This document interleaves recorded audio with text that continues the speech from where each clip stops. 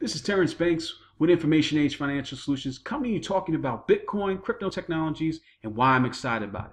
Now, Bitcoin has gotten a lot of buzz since it's reached over that $2,700 mark, roughly. Um, and a lot of people are speculating that it's in the bubble. But even if it is, it's still something that it's a free market solution and it's outside of that banking sector, which makes it, that's why I'm, I'm primarily uh, excited about it. I believe blockchain technology is here to stay. And the reason why Bitcoin is at the top of its heap is because they've really been, it's been around the longest. And you can always judge these things by the tech people, is about how the, the technical community is talking about it.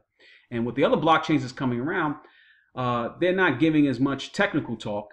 And that's and if you that's how you kind of judge things, especially if you're in that tech world. If they're complaining about different things or talking about the text in that process and they're having forums about it, that means it's a good chance that's going to be here to stay in that process.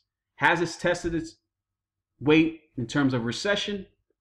We'll have to come and see that because we haven't had one since 2008 and we're kind of overdue. But besides that, the technology itself, it's a truly free market solution. It gets out of the third party and it's also limited. Once you reach a certain amount, I think it's 21 million, don't quote me on that. Once you reach that certain amount on that process, that's it. They're not going to make any more. And that gives it that uh, a strong currency because that because it can't be, you know, at this term in time manipulated and to push more. Where as we roll with our own currencies that we deal with, especially the dollar or any other fiat currency, it's an unlimited printing press.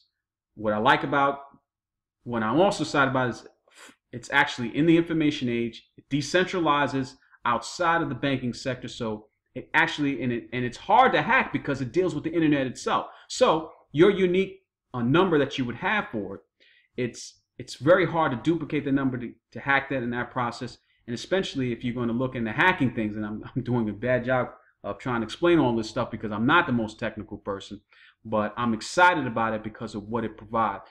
Again, do your research, and if you can afford it, you might want to take that chance and see if you can actually get in, involved with the platform. Uh, or you can wait till it corrects a little bit because once it's been in that upward trajectory for a while, and once it, I mean, you was going one time was going, you could get it for two dollars less than that, and now it's over two thousand seven hundred dollars. So it's bound to have a correction here and there. But again, it's it should stand the test of time because it's an information age product, and it's truly designed for our time that we live in. So this is Terrence Banks with Information Age Financial Solutions look into blockchain technology, take a look at Bitcoin, do your research, and keep abreast of the times that we live in. Until my next video, I'm out.